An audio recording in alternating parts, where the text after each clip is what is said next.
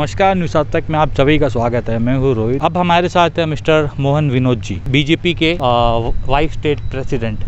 Mister मो, मोहन विनोद जी क्योंकि यहाँ पर हमारे साउथ अंडमान में यहाँ पर अंडमान में हमारे यहाँ पर टूरिस्ट स्पॉट्स बंद कर दिया गया डीसी सर की तरफ़ से जो ऑर्डर आया था जनवरी टेन को और इम्प्लीमेंट हुआ ग्यारह को जनवरी इलेवन को तो उसमें ये था कि सारा टूरिस्ट स्पॉट्स को बंद कर देने के लिए। और आज सारा टूरिस्ट स्पॉट्स को आज ओपन कर दिया गया है। और इसी विषय में हम मोहन जी से बात करेंगे। ये हमें बताएँगे कि आखिर बंद क्यों करे और क्यों क्यों ओपन करे। आइए जानते हैं। नमस्कार। मैंने जैसे अपना पिछला इंटरव्यू में कहा, मैं फिर एक बार सबसे पहले आपको धन्यवाद देना चाहूँगा। कंधे से कंधा मिलाकर पर्यटन उद्योग के साथ चलने के लिए अंडमान आप तक आज तक का धन्यवाद ज्ञापन करता हूँ। आज हमारे लिए एक बहुत खुशी की दिन है। आप सबको पता होगा, पर्यटन पिछले 10 तारीख को एक नोटिफिकेशन आई थी और 11 तारीख को बंद कर दिया गया था। कोविड की संख्या के बढ़ने के कारण अचानक पर्यटन को बंद करना पड़ा, जिससे पर्यटन उद्योग में एक निराशा से आ गई। क्योंकि हम उस वक्त अपने चरण सीमा पे थे। द्वीपों की सुरक्षा को देखते हुए प्रशासन ने इसको बंद किया। अंडमान के जितने एसोसिएशंस हैं, जितने लोग हैं पर्यटन से जुड़े हुए, सबने निरंतर प्रयास किया इसको दोबारा खोलने के लिए प्रशासन से मांग। आज ये खोलने के लिए मैं इसमें दो चार विषय रखना चाहूँगा। सबने निरंतर प्रयास किया प्रशासन से, मगर मैं इसमें धन्यवाद देना चाहूँगा हमारे प्रधानमंत्री माननीय नरेंद्र मोदी जी के मार्गदर्शन में जो पर्यटन उद्योग को यहाँ बढ़ावा मिला। और हमारी एक joint delegation Andaman chamber of commerce of industry फोर्तो A bar owner association boat owner association हमारी एक ज्वाइंट डेलीगेशन ने संडे माननीय भाई सत्य कुमार जी, जो भारतीय जनता पार्टी के राष्ट्रीय सचिव है और यहाँ के प्रभारी हम एक ज्वाइंट डेलीगेशन हमने उनसे मुलाकात की और उनसे गुजारिश की कि इस पर्यटन उद्योग जो अपनी खत्म होने की कगार पे इसको दोबारा शुरू करने में हमारी मदद करे। मैं उनका शुक्रिया अदा करना चाहता हूँ कि उन्होंने तुरंत हमारे विषय को संज्ञान में लिया और पर्यटन मंत्री से हमारे सामने ही बात किया और उनका प्रयास, मैं धन्यवाद देना चाहूँगा प्रशासन का भारतीय जनता पार्टी के तमाम वो नेता और पर्यटन उद्योग से जुड़े तमाम लोग, जिनके वजह से आज पर्यटन उद्योग south Andaman north Andaman middle Andaman में दोबारा खुली है। और हम आशा करते हैं कि हम अपनी चरण सीमा में दोबारा आएँगे और हम प्रशासन से आपके माध्यम से शुक्रिया अदा करते हैं और गुजारिश करते हैं कि ऐसी परिस्थिति जब भी दोबारा आई तो स्टेक होल्डर से एक बार कंसल्ट करें बंद करने के पहले, जिससे क्या होगा, एक बीच का रास्ता निकलेगा, ऐसा मेरा मानना है। सर, हमारा एक सवाल है जो हमारे आइलैंडर्स ने हमें बताया। तो उसी के संगीन, उसी को रखते हुए हम आपसे पूछ रहे हैं। सर, आप लोगों का ये कहना है कि सत्य कुमार जी द्वारा टूरिज़्म ओपन किया गया।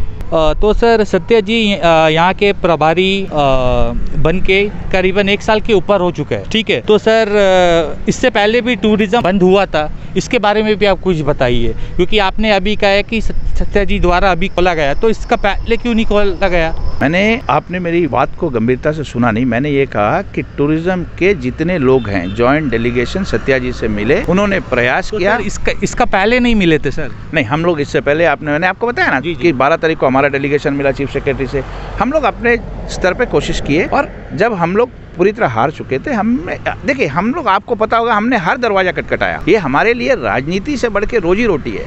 हमने हर दरवाज़ा खटखटाया और सत्या जी से हमने बात किया उन्होंने प्रयास किया। ये सबका प्रयास है। मैंने मैंने धन्यवाद दिया प्रशासन को, सत्या जी को टूरिज़्म से जुड़े हुए तमाम स्टेक होल्डर ये सबका प्रयास है, सबका साथ और सबका प्रयास। सर, हमारा और एक सवाल है। सर डीसी सर ने जो ऑर्डर निकाली थी दस जैन को और वो इम्प्लीमेंट लागू हुई थी इलेवन जैन से सारा टूरिज़्म टूरिस्ट स्पॉट को बंद करने के लिए। तो उससे कई लोगों को परेशानी हुई। कल स्टे कई स्टेक होल्डर होल्डर्स कई ट्रैवल एजेंट कई अनेक तरह के लोगों से छोट से बड़े होटे होटेलियर्स को बोट वालों को कई लोगों को परेशानी हुई और इससे लोगों को बहुत ही कठिनाइयों का सामना करना पड़ा।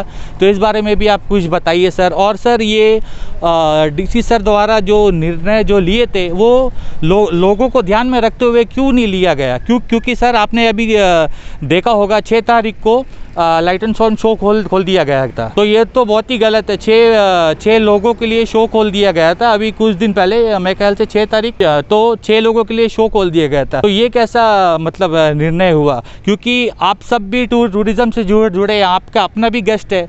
जब आप लोगों का गेस्ट नहीं आ रहा था तो कुछ आला अधिकारी जो हायर अथॉरिटीज़ है उनका गेस्ट आके सिर्फ़ उनके लिए ही शो चलाया गया। तो आप ये बताइए इसमें किस किस तरह से आप इस विषय को हमारे साथ बताएँगे और एडमिनिस्ट्रेशन कहाँ तक इस बारे में सही है? सबसे पहले आपने जो कहा कि एक महीने में लोगों ने काफ़ी परेशानी उठाई। मैं आपसे सहमत हूँ लोगों में मैं भी हूँ पर्यटन मेरा व्यवसाय है। जी। मैं 1997 से टूर ऑपरेटर हूँ ट्रैवल एजेंसी चलाता हूँ। काफ़ी समस्या हुई। आपको तो पता होगा दिसंबर में ही हम लोग को का टूरिज़्म शुरू हुआ। जनवरी में हम थोड़ी बहुत ऊपर आने की कोशिश किए तो हमने अपना इंश्योरेंस बांधा। जो हमारी पूंजी थी हमने सब सरकार को दे दिया। और काफ़ी फाइनेंशियल पोजीशन सबको हुआ इंक्लूडिंग बड़े छोटे इसमें नहीं है सबको। जी। उसके लिए तो हम लोग अभी प्रयास इसीलिए मैंने एक गुजारिश आपके माध्यम से किया कि ये जब भी ऐसी परिस्थिति आए कोविड की परिस्थिति हो या वैश्विक महामारी की परिस्थिति हो अगर पर्यटन उद्योग से जुड़े लोगों के साथ चर्चा किया जाए तो बीच का रास्ता ज़रूर निकलेगा। बंद इसका सोल्यूशन नहीं है। इसलिए मैंने आपसे गुजारिश की। जहाँ तक लाइट एंड साउंड का आपने कहा, हमने इसको लिखित में भी दिया है, हम इसका खंडन करते हैं। और इस पर हमने प्रशासन से टूरिज़्म डिपार्टमेंट से पूछा है कि क्या कार्रवाई किया है। उन्होंने कहा कार्रवाई चल रहा है और जल्द से जल्द हमें बताएँगे। इसमें हम पूरी तरह से खंडन करते कि सर किसी आपने के लिए भी, नहीं आप, खुलना चाहिए। आपने भी देखा था जैसा हम लोग रिपोर्ट बनाए थे और उसके नेक्स्ट दिन ही हम लोग हम लोगों ने न्यूज़ चलाया उसके नेक्स्ट दिन ही सिर्फ़ नेताजी सुभाष चंद्र बोस आइलैंड और और हम और हमारा कौन सा था? और Cellular Jail light and sound show जो खोला था। तो अब ये मतलब हमने जो न्यूज़ बनाया था उसके बाद ही इन- इन्होंने दो चीज़ मतलब खोल दिया था। मैं इस विषय में तो बोलना नहीं चाहूँगा न्यूज़ के बाद। मैंने ये तो मैं कह रहा हूँ ना, हम खंडन कर रहे हैं। और जो खोला, उस दिन भी मैंने, उसी दिन हमने चिट्ठी लिखा। जिस दिन उन्होंने खोला, उसी दिन हमने चिट्ठी लिखा कि ये पर्याप्त नहीं है। हमने उपराज्यपाल को भी लिखा, चीफ सेक्रेटरी महोदय को भी लिखा कि ये पर्याप्त नहीं अगर ये जो खोला है, वो पर्यटन इंडस्ट्री के लिए उससे कोई भी फ़ायदा या लाभ नहीं मिलता। क्योंकि आप, हमारा टैग क्या है? प्रशासन क्या टैग दे रही है? Emerald, blue and you. और आप एमरल्ड ब्लू एंड यू में पानी में उतरने नहीं दोगे। आप emerald blue you and you में बीच बंद कर दोगे। एमरल्ड ब्लू एंड यू में आप एक्टिविटी बंद कर दोगे। एमरल्ड ब्लू एंड यू में आप बोटिंग नहीं करने दोगे। तो फिर आपका पर्यटन कैसा चलेगा? हमने उसी दिन, जिस दिन ये ऑर्डर आया, उसी दिन हमने पत्र लिखा माननीय उपराज्यपाल महोदय और मुख्य सचिव जी को कि आप बाकी स्थान भी खोलिए। ये जो खुला हुआ है, ये इससे हम संतुष्ट नहीं हैं। तो ये थे हमारे साथ मोहन विनोद जी। भारतीय जनता पार्टी के स्टेट वाइस प्रेसिडेंट और उन्होंने अभी बताया टूरिज़्म से कुछ बातें हमें बताई। इसी के साथ ही मैं रोहित कैमरामैन के साथ न्यूज़ आप तक, धन्यवाद।